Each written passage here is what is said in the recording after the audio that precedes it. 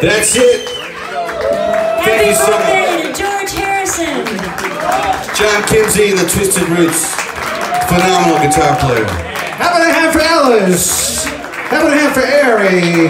Heath Chapel on drums. Thank you. Special thanks to Heath because he drummed all night.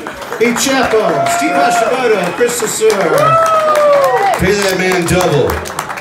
Thank you. Thank you to all the amazing bands that came out and did this for a good cause. Thanks for coming out and supporting local music.